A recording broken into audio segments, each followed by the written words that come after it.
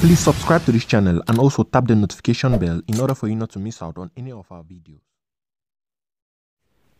The viral video of Bizogo Ndongo in a nightclub ignites the web. In the said video, the son of the president of the CPDM parliamentary group in the National Assembly distributes money.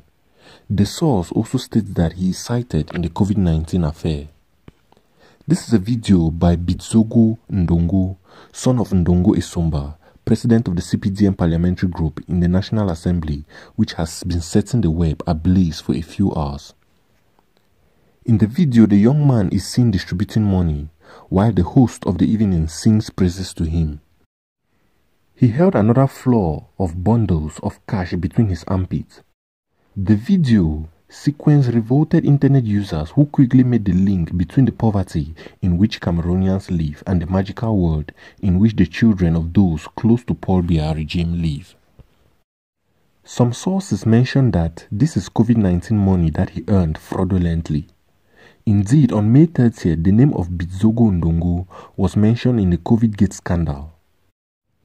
For the moment, he enjoys a presumption of innocence since the investigation continues its course, and the files of the report of the Audit Chamber are at the levels of the Special Criminal Court, which proceeds to hearings of the concerned.